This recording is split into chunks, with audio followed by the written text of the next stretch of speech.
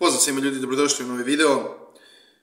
Imamo mnogo vesti, zaista teško je pokriti sve, čekamo dalje izveštavanje sa Bliskog istoka, međutim ono što je također važno, a nije ovdje dovoljno proprećeno bilo u medijima, barem nekoliko sam ja primetio, da je Rumunija nalik Mađarskoj zaustavila sankcije, odnosno ona je protiv sankcija Srbiji, vezanih za ove događaje u Banjskoj i rekli su sami da je potrebno sprovesti duboku i jednostavno preciznu istragu koja će biti dovoljno egzaktna i utvrditi šta je se zapravo dogodilo, čija je odgovornost, ko snosi istu i tako dalje i tako dalje.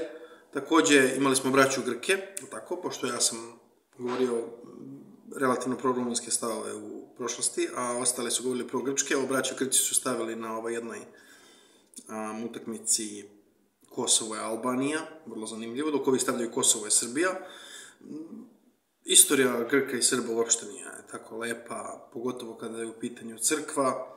O tome isto možemo da pričamo mnogo puta u budućnosti. Ja sam nešto o tome govorio i pre, ali ima tu dosta, dosta, dosta toga da se a, ispriča.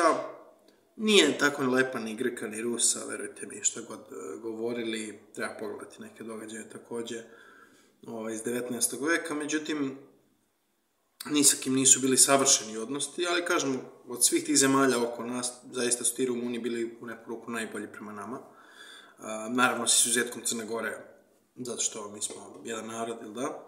Mada smo i sa ovima, ali nema veze. S ovima smo barem potvrđeno jedan narod i bili smo čak i u unijama nekakvim zvanim Kraljevina, SHS, Jugoslavija, SFRJ, FNRJ i slično.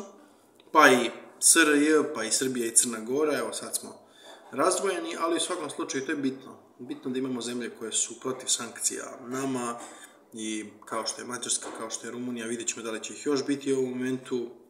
Tako da treba držati svoje saveznike blizu. Hvala vam svima na pažnji i mi se vidimo u nekom od narednih videa. Ja vas pozdravljam.